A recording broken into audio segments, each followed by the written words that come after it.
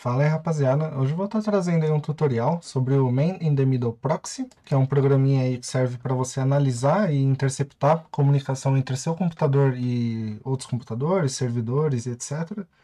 E bom, basicamente basta você acessar esse link que eu vou estar deixando aí na descrição, daí vai ter esse botão aqui que você clica nele para fazer o download.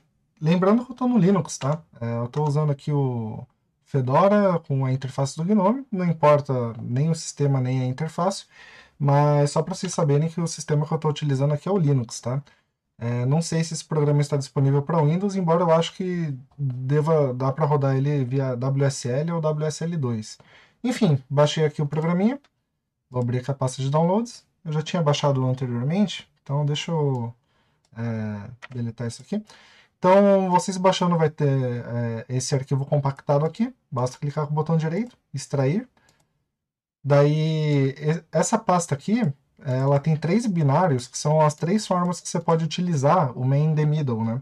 Que é esse primeiro, você pode utilizar ele de uma forma não interativa, ou seja, é, você consegue utilizar esse daqui para escrever scripts, né? Seja em Bash, Python, etc., para conseguir interagir com ele sem necessariamente ter que ter acesso ali a uma interface interativa, né?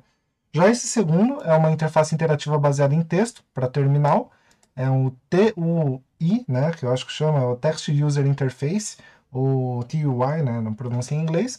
E tem esse terceiro aqui que você consegue ter uma interface gráfica dele, baseado em web. Ele abre no seu navegador, você consegue utilizar ele de forma gráfica, embora não seja tão interessante, né? Nesse tutorial eu vou estar ensinando só o básico desse daqui, né? Bem introdutório mesmo, até porque eu estou fazendo esse vídeo para é, registrar o, esse programa que eu acabei de aprender, né? Eu aprendi nos últimos dias aí. E vou estar fazendo esse vídeo aí para quem tiver interesse em aprender também. Então, vamos lá. É, você tendo acesso aqui a essa pastinha, é bom você colocar ela em algum lugar que você não vai deletar ela, né? Pra você ter certeza que você não vai deletar. Inclusive, deixa eu abrir aqui rapidinho. É, eu deixei ela aqui nessa pasta que eu tenho na minha home. Eu tenho a pasta chamada Applications, né, que é justamente uma pasta para eu deixar as aplicações que eu não vou deletar. Aí eu copiei, colei ela lá e aqui estão os binários, né? Então basta clicar com o botão direito na pasta, vir é, no terminal, né?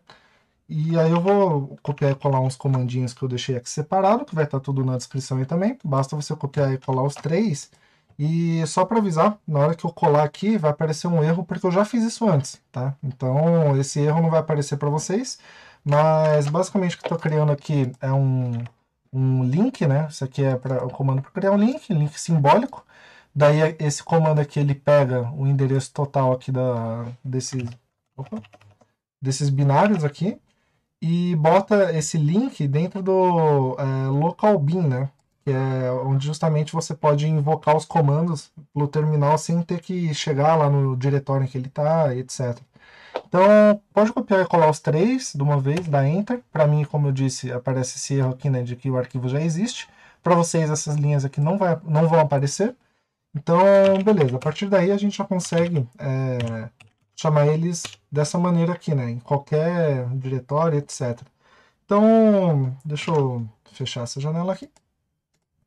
E vamos mostrar aqui a carinha do, do programa, né? Ele tá levando um tempinho ali para carregar. Deve ser por causa do OBS, que está aberto também. Está tomando aqui 28% da, da minha CPU, né? um programa muito pesado. Mas enfim, essa é a carinha do programa. É, deixa eu botar em tela cheia, né? É, esses flows são justamente a, as comunicações que vão estar sendo listadas, é, tanto de request quanto response, que está saindo e chegando na sua máquina. Então, como eu disse, esse programa aqui é um proxy. Para quem não sabe o que é um proxy, vou dar aqui uma breve explicação. Basicamente, um proxy é o que se coloca entre é, o cliente, que seria o seu navegador, né? Eles colocam entre o seu navegador e o servidor que o navegador está querendo acessar. Então, quando o seu navegador, você, sei lá, faz uma busca, ele vai estar tá mandando essa busca para um servidor. Se tiver um proxy no meio, ao invés dele mandar essa busca diretamente para o servidor, ele manda essa busca para o proxy. Daí o proxy, você pode, por exemplo, alterar né, essa busca, alterar essa requisição que ele está fazendo.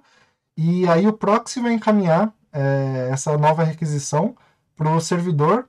Aí o, o, servidor vai processar a sua requisição, a sua busca, né? E vai te retornar um resultado. Só que antes desse resultado chegar no seu navegador, ele vai passar por esse proxy. Aí você consegue também editar o resultado de forma a alterar o que vai ser exibido no seu navegador. Mas é, não é nenhum bicho de sete cabeças. Então vamos lá, dar continuidade aqui. Basicamente essa, essa partezinha aqui no canto super, é, inferior direito tem um asterisco, dois pontos, 80 e 80, né?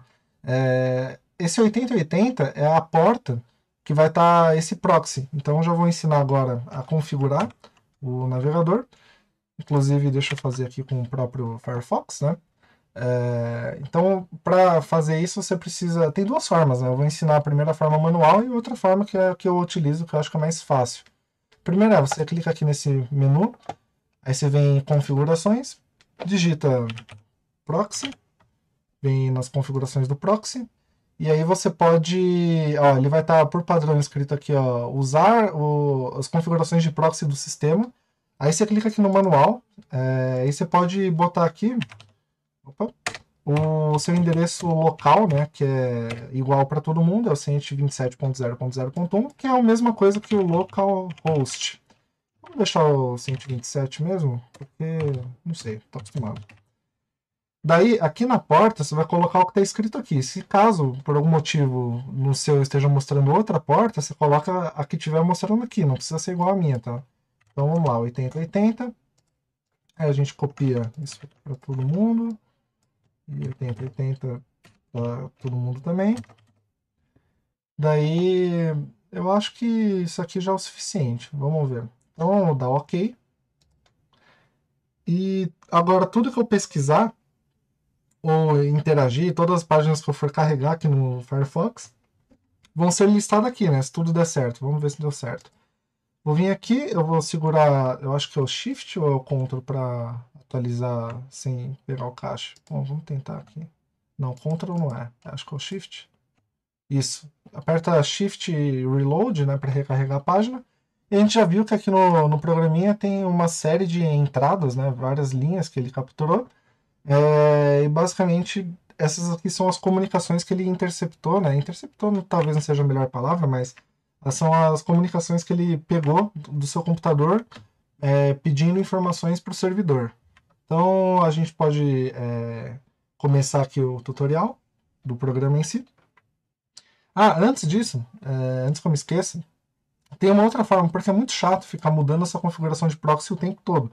Então tem uma extensão que eu acho muito interessante que você pode estar utilizando, que é, ó, deixa eu, eu fiz muito rápido aqui, ó, clica aqui nesse menu, vem addons e, e, temas, né, ou extensões, não sei como que vai estar escrito no seu. Daí basta você procurar por esse aqui que eu desabilitei, ó, mas é o Proxy Switcher and Manager. Então, para vocês isso aqui não vai estar aparecendo aqui, aí vocês vêm na, na caixinha de pesquisa, Proxy Switcher and Manager.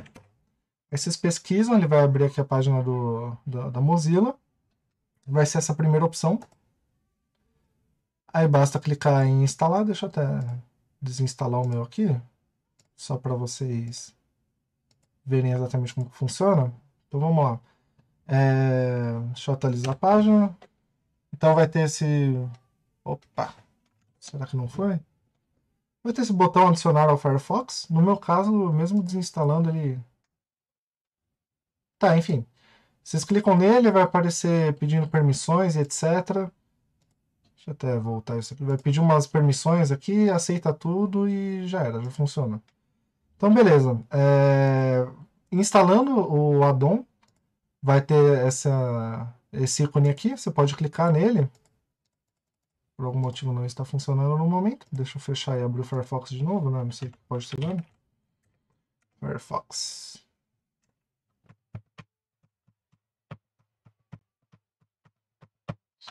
Beleza, então vamos ver se está funcionando aqui. Ó, ele abre essa janelinha quando ele funciona. Então vamos voltar ali no é, main in the middle, né? Isso, ponto org. Esse aqui é o site do programa que eu tinha mostrado, né? Então vamos lá. Clica aqui, ele vai estar em direct. Daí para você ativar o proxy manual, você clica aqui no manual proxy. E ele já vai é, ter algumas informações aqui, só vai precisar mudar a porta, provavelmente, tá? Se a sua for 80 81, pode deixar do jeito que tá. E o meu, a primeira vez que eu instalei, por algum motivo ele veio é, selecionado essa última opção, só que não é ela que você tem que clicar, você tem que clicar no HTTP para ter certeza de que vai funcionar.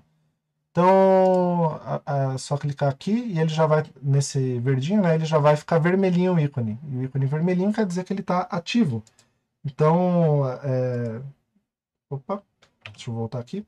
Então, aqui, eu, voltando para o pro programinha, vou ensinar a primeira tecla para limpar todas essas informações que estão na tela. Né? Você consegue limpar tudo de uma vez só, que é a tecla Z. Apertando a tecla Z, ele apaga tudo.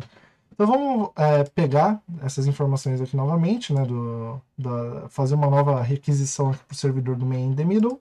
Então vou apertar o, o Shift Reload ou Ctrl F5 também, se preferir. E ele carregou aqui essas informações. Então vamos lá, começar com a navegação do, do main in the middle, como que ela funciona. Ele é um programa baseado no editor de texto Vim, que tem as mesmas teclas ali de, de funcionamento, né, a mesma funcionalidade do Vim.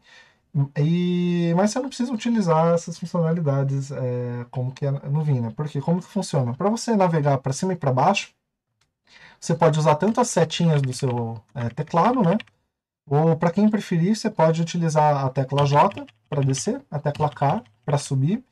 É... Aí para você entrar numa, para você ver né, as informações de alguma é, comunicação, você aperta a tecla Enter. Daí ele abre essa janela que tem três abas, né? Tem a aba de request, tem a aba de response e a aba de detalhes, que é requisição, resposta e detalhes. Então, para você navegar entre elas, basta você usar a, as setinhas para direita e para esquerda, ou você usa a tecla H para ir para a esquerda e a tecla L para ir para a direita, ou você pode alternar entre todas dando a tecla Tab também, se for melhor para vocês. Então vamos ver aqui, ó, a request não teve, só teve aqui informações né, de user agent, esse, esse tipo de coisa, não teve nada no corpo ali da request. Então na response veio o código HTML, né, que é o que está sendo exibido aqui. E aqui no detalhes tem uma série de, de informações né, também que talvez seja é, interessante para vocês. Agora, para sair dessa tela e sair de qualquer outra tela que tenha dentro desse programa, basta apertar a tecla Q e estamos aqui de volta à tela inicial, né? Então, é, voltando aqui, a gente tem acesso a todas essas é, informações, mas se eu quiser, por exemplo, só é, marcar aquilo que me é interessante, né? Aquilo que, sei lá, eu estou fazendo uma análise de uma comunicação ali com o site, etc. E eu quero deixar marcado é, as coisas que eu tenho que prestar atenção nessa análise. Eu posso usar a tecla M. Então, por exemplo, eu vou nessa daqui, que é o indicativo. Ó, onde é, toda tecla que você usar aqui dentro do, do, programa vai ser é uma ação que vai ser efetuada em cima do que está marcado aqui, ó, por esse, esses dois símbolos aqui de maior a maior, né? Então, por exemplo, para marcar e deixar em evidência essa linha ao invés das outras, né, eu posso apertar a tecla M e ele vai criar essa bolinha aqui no canto, que é só um, um indicador visual ali que você pode estar utilizando. Então, eu imagino, vai, por exemplo, é, eu quero ter sempre fácil, é, facilmente visível, né? É, essas duas linhas sobre as outras. Aí eu quero deletar as outras linhas. O que, que eu posso fazer então? Eu posso vir em qualquer outra linha e apertar a tecla D. A tecla D vai deletar as linhas que eu estou selecionando, né? Então vamos lá. É, vou deletar essa primeira linha, aí eu posso descer um pouco, deletar essa outra linha e assim por diante. Só para dar um exemplo, né? E de novo, para apagar tudo de uma vez, você pode apertar a tecla Z. Daí, agora eu vou começar a ensinar aqui é, uma coisa que vai ser mais interessante ali para quem está fazendo as análises, né? Que é a tecla I de Intercept. Mas antes, é, vou ensinar como que você acessa uma lista com todos os comandos. Você aperta o ponto de interrogação. Ele vai aparecer aqui com todos os comandos que ele tem no programa. Eu vou estar ensinando aí alguns deles, pelo menos os que eu aprendi, né? É, existem muito mais comandos do que os que eu vou estar ensinando. Daí você consegue navegar aqui para o lado direito e aqui ele vai ter é, as expressões de filtro, que é o que a gente vai estar usando justamente agora nessa parte de interceptar a comunicação. Então, por exemplo, ele usa é, regex, né? É o reg, regex, eu não sei exatamente como pronuncia, mas que é o filtro de texto que geralmente os programadores utilizam ali para filtrar coisas, extrair informações e etc. E aí você pode estar utilizando é, eles dentro do, do programa, por exemplo, aqui ó, usando o til u e, uh, e o padrão de texto que você quer encontrar, né, que você quer filtrar, isso aqui vai estar indicando a URL. Se você botar aqui o til q, ele vai só pegar, só vai dar match nas requisições que não tem res, é, resposta. E assim por diante, né? Tem várias combinações que você pode fazer, pode colocar vários juntos, é, conectando eles através do e-comercial, que é o exemplo que ele dá aqui, né? E etc. Vocês podem depois dar uma olhada melhor, mais aprofundada aqui, que eu também não conheço muito a fundo essa parte aqui. Então, vou apertar Q para voltar para outra tela, limpar aqui de novo, que, não tem, que tem coisa que não interessa. E eu vou criar um filtro, apertando a tecla I. E vai ser til U, para especificarmos ali um padrão que eu quero encontrar na URL. Isso daí pode ser qualquer coisa, tá? Não precisa ser o nome completo do site, não precisa ser a URL exata, mas óbvio que se você quiser filtrar bem, você tem que pensar bem qual que vai ser o filtro. No caso, eu vou colocar aqui meetm é, proxy, que é o nome ali do site, a URL dele, né? E vou dar Enter. A partir desse momento, toda a comunicação que for feita é, com direção a este servidor vai ser inter interceptada e interrompida e vai ficar aguardando no os nossos comandos, ou para a gente liberar essa informação, ou para a gente alterar essa informação antes dela ir para o server, etc. Ou também, é, na resposta, quando o server der a resposta, a gente pode editar a resposta antes da resposta chegar no nosso navegador. Então vamos ver isso na prática, né? Talvez tenha ficado um pouco confuso. É, qual que vai ser o meu objetivo? Meu objetivo vai ser alterar alguma parte de texto aqui, pode, posso alterar isso daqui, colocar meu nome aqui no lugar desse, desse texto, né? Então eu vou dar o Ctrl F5 para recarregar a página sem ter é, o cache, né? Sem pegar o que já está salvo no cache. Então, voltando aqui no programa, a gente vê que tem a linha aqui vermelha, né? Dizendo que está interceptado. Então a gente clica Enter nela. A gente vai ver aqui, ó, é, request interceptado, né? A requisição foi interceptada, a gente consegue alterar os dados da requisição. Mas no nosso caso não tem nada que interesse mudar aqui. Então aí entra a próxima tecla que eu vou ensinar para vocês, que é a tecla A.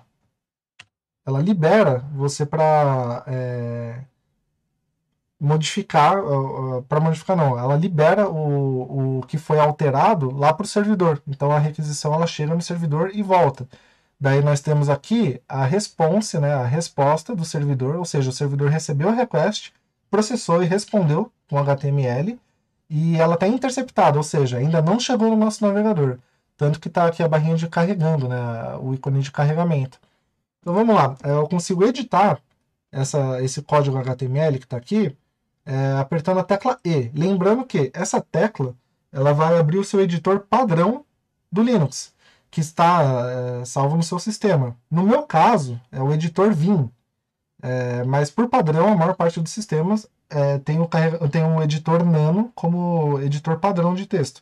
Então, caso essa tela, a próxima tela, é, venha a ser diferente, você pode tanto utilizar outro editor de texto quanto modificar ali é, o, a variável de ambiente chamado editor para o caminho, especificando o caminho para o Vim ou para qualquer outro editor de texto que seja de sua preferência. Então eu vou apertar a tecla E, ele vai abrir o Vim. Quer dizer, ele vai abrir esse menu antes, né? Esqueci dessa parte. Que ele vai perguntar o que, que você quer editar. Você pode editar o cookies, pode editar o caminho, qualquer coisa. No nosso caso, a gente quer editar o corpo da resposta. Você pode tanto selecionar aqui né, com as teclinhas de as setas e as teclas do Vim, ou você pode também apertar aqui o índice né, dele, que é o B, ele automaticamente vai para cá. É, temos aqui então no Vim todo o código fonte da página. Então vamos pesquisar aqui a palavra meetm proxy, tentando identificar aqui este texto para a gente poder editar ele. Então vamos lá. Tá, esse aqui não é, esse daqui não é, esse daqui não é, esse daqui também não é, não é, não é. Não é. Está no menu de documentações. Também não é. Aí achamos. Quer dizer, esse daqui, ó. Aqui está o que a gente precisa editar. Então vou apertar a tecla I para a gente poder editar aqui o texto. imagino que seja aqui, tá? É, é isso mesmo. Esse texto aqui, ó, is a free and open source interactive HTTPS proxy, que é exatamente o que está escrito aqui. Então, botei meu nome. Também, não. É, aí eu vou salvar isso daqui e a resposta já está editada aqui. Vai ser um pouquinho difícil mostrar para vocês. Deixa eu scrollar aqui para baixo. Que uma hora aparece. Aqui, ó, meu nome está aqui. E quando apertar a tecla A, é, aqui vai terminar de carregar. Eu acho que eu demorei um pouco demais, tá? Isso aqui talvez eu tenha que refazer essa parte, porque se você demora muito, ele dá um timeout, né? Mas vamos lá, vamos tentar. É, é, pelo visto ele não foi justamente porque deu timeout. Vou refazer essa parte aqui bem rápido, só para a gente poder ver isso na prática, né? Então, vamos lá. Ctrl, opa, é, Ctrl F5, Beleza, então eu libero aqui a request, eu vim para cá, aperto E, aperto B, daí eu procuro aqui o MeetM. Não, deixa eu pesquisar o resto do texto, né? Is a free and open source. Não, is a free open source. Aí, achamos. Então, vou editar aqui rapidinho, antes de dar o timeout ali, né? Daí eu vou apertar a tecla A Daí vai ter outras conexões. Para você liberar tudo de uma vez é Shift A. E vamos torcer para dar certo. Né? Não, não, vou garantir que vai dar certo. Mas vamos torcer. Cadê o Shift A? Aê, foi. Não tinha ido Shift A quando eu apertei. Opa. Então deu para ver que funcionou aqui. Deixa eu até liberar o resto aqui das, das requisições. Está fazendo várias requisições. Então deu para ver que funciona, né? Eu consigo editar o, a response e consigo editar request. No caso, não tinha request para ser editado, não tinha um corpo para ser editado. Mas é isso. Então vamos recapitular algumas coisas aqui. Para você deletar tudo que está aqui de entrada no, no, no, programa, você aperta a tecla Z. É... Ah, esqueci de falar uma coisa importante também. Caso você queira é, desabilitar temporariamente aqui essa inter, é, a parte de interceptar, né? Você pode apertar Shift I. Daí agora eu posso recarregar essa página, Ctrl F5, que ele não vai interceptar. Daí se eu quiser passar a interceptar de novo, Shift I novamente. Peraí, tem que clicar no programa. Opa. É, não sei, ele não está funcionando. Deixa eu apertar a tecla Z. Deu algum problema aqui no, no programinha, mas vamos lá. Ah, agora tá indo. Acho que tinha travado por causa do OBS, alguma coisa do tipo. Então, o Shift, ele alterna, né? Entre funcionando, uh, não funcionando, que é quando tem esse X aqui na frente, e o funcionando, que é quando não tem um X na frente. Então, agora, se eu der o Ctrl F5, ele vai aparecer o texto em vermelho. Então, beleza. Recapitulando aqui. Para limpar todas as requisições, você aperta Z. Então, Agora, deixa eu apertar o Shift para liberar, né? Para fazer o negócio, para poder dar os outros exemplos. Ctrl F5. Agora tem um monte de informações. Se eu quiser... Opa, se eu quiser marcar as que eu achar mais importante, eu posso apertar M para aparecer a bolinha ali visual, né? Para conseguir me localizar mais fácil. Daí, se eu quiser deletar uma em específico, eu aperto D. É, aí, se eu quiser... Deixa eu ver... Entrar, né? Na, na, nas informações da comunicação, aperta o Enter. Aí você vai ter acesso aqui ao request, response e os detalhes. Aperta Q para sair. Então, vou apertar o Shift I né, novamente aqui para interceptar comunicação. Vou apertar o Z para limpar tudo. Vou dar o Ctrl F5 para mostrar aqui de novo como que faz essas alterações da request e da response. Então, tá vermelhinho ali, tá interceptado. Aí você aperta Enter. Aí vem na request, é, aperta A, na verdade você pode apertar em qualquer momento, né, em qualquer lugar. Daí vai é, travar aqui a resposta do servidor, você aperta E, aperta B para mudar a resposta. Beleza, então vamos editar aqui o nome novamente. Ó, vou colocar aqui, deixa o like. Tranquilo. Vamos sair do programa, apertar A novamente para liberar ele. Daí vamos apertar Q e liberar tudo, Shift A. Ou dar Shift I também e apertar Shift A novamente para liberar tudo. E aqui está novamente alterada a comunicação. Deixando aqui, ó, por favor, deixa o like e também compartilhe com seus amigos de tecnologia da informação, segurança, etc. que essa ferramenta aqui é bem interessante para todo mundo. É, e se você gostou aí do vídeo, não esquece de deixar o like, de comentar se tiver alguma dúvida, se tiver alguma sugestão. E é isso aí. Valeu aí por assistir e até a próxima.